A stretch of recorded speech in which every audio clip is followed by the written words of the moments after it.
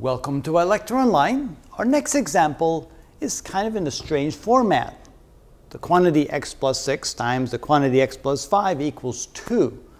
So what we probably should do is first get it into this format before we try to factor it. The temptation is to go ahead and move the 2 to the left side, set all this equal to 0, but then you can't use the technique to solve for x that we normally use. So first what we're going to do is multiply everything out on the left side, move the 2 across, get it into this format, and then factor it so that we can solve it. So let's go ahead and do that. So here we have x times x, which is x squared, plus x times 5, which is 5x, plus x times 6 is plus 6x, and 6 times 5 is plus 30 equals 2. We can now combine these two terms and move the 2 across. So we have x squared plus 11x plus 30 minus 2 equals 0. And now finally we have x squared plus 11x plus 28 equals 0.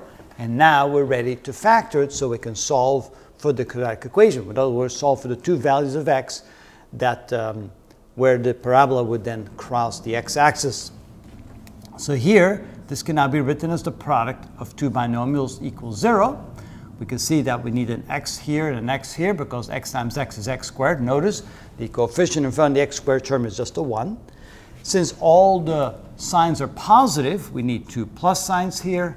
And now we're looking for two numbers, here and here, in such a way that the sum is equal to 11 and the product is equal to 28. The sum must equal this number and the product must equal that number.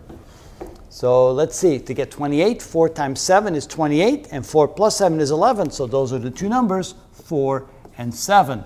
Now that it's in this form, we can use the property of multiplication, that if you multiply two numbers, you get 0. One or the other must be equal to 0, which means that x plus 4 must equal 0, or x plus 7 must equal 0, which means that x equals negative 4 as one of the solutions, or x equals negative 7 as the other solution. And that's how you get the solution to that particular quadratic equation when you start out with a strange format. First get into the standard format and then solve. And that is how it's done.